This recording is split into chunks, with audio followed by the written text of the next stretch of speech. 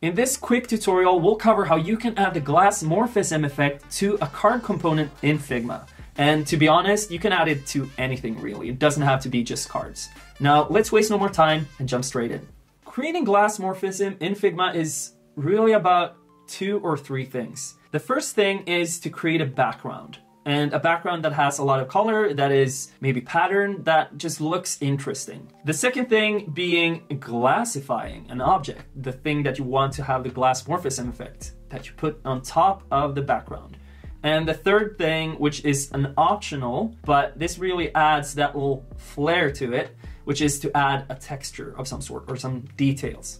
Let's jump to the first one. Like I said here, the effect is amplified by having colorful objects in the background. So here I have this card that has a very nice looking image. So we take that, we move over to the second step, which is actually glassifying stuff. So here I have the final result. You can see how it looks. You see the background. It has this glass effect. Four things here that we need to remember.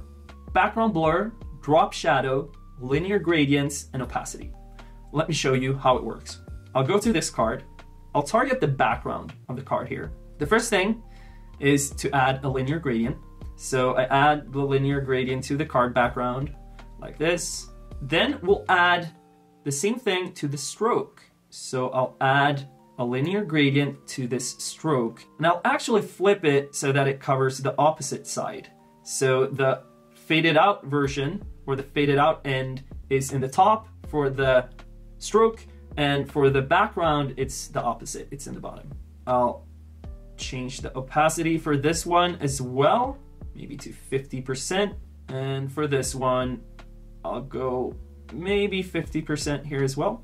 That's something you'll have to play around with. After that, we'll add a background blur to the card background once again. I'll add an effect, hit background blur, bump it up, and this is also going for what you think looks the best. So maybe something like 12, and then we'll add a drop shadow. And here we also will play around to see what looks the best. Bump up the blur a bit. So that's really how easy it is to create this effect. Now let's jump over here and see what we can do to add some more detail. What you can do is you search for noise or texture in the Figma community and you just grab something that you think looks good.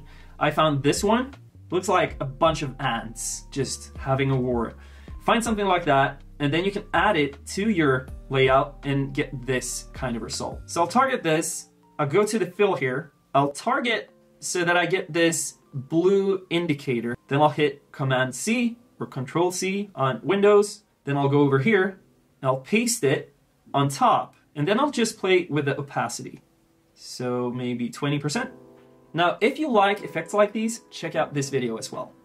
Until the next one, have a great life, we'll talk soon, and ciao.